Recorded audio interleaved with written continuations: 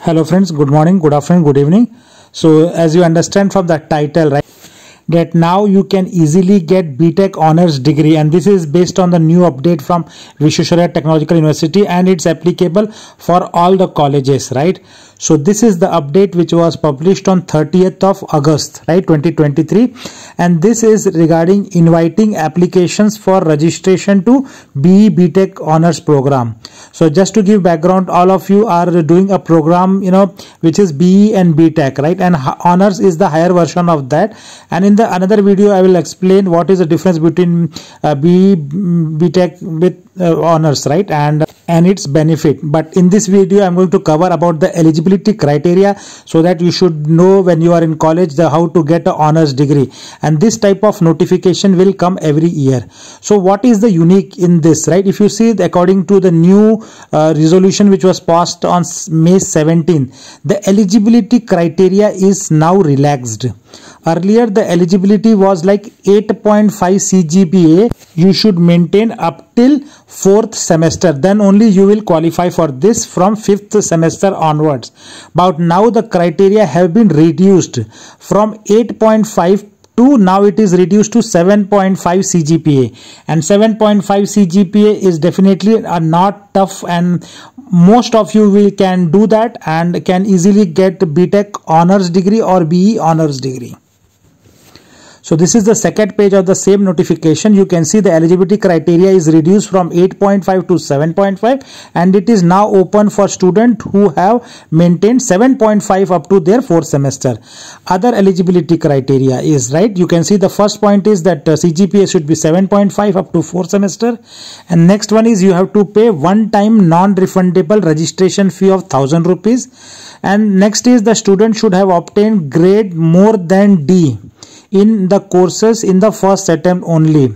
So if you fail in the uh, any particular semester then you will not be able to get this btech honors or be honors. You should maintain at least grade d right in all the courses in the first attempt and for the diploma lateral entry student right they have to complete the additional mathematics 1 and 2 paper right within their semester 3 and 4 in the first attempt. Then only they will qualify right. For the other engineering students anyway they are doing maths 1 and maths 2 so they don't have any issues. For bsc lateral entry students right who have completed the engineering graphics and elements of civil engineering in the first year those students are also eligible to get and also you can see here now the procedure how to you have to go to the online.vtu.srac.in you have to register sign in create an account you'll get otp log in with your id password and then you have to go into the academic section and click apply for honors degree. And you have to pay thousand rupees as the registration fee. So that is the only process uh, you have to do one time and each student should have the USN number right? Which is your university number regular or diploma lateral entry or BSc lateral entry depending on which category you are applying for and the another good news is that there is no limit on such student. So in a college everybody can who has got 7.5 cgpa and above can apply. There is no quota right? This number of students only can get be btech honors. Everybody can get be btech honors. And you can see here the last date of application for this year is 16th of september. So it is open from 14th um, uh, uh, 14th august and it is uh, open up to 16th september and the good thing about which i mentioned that advantage of this honors uh, is that test schedule won't conflict with any of your major degree. So what you are doing btech today it will not conflict with your you know schedule.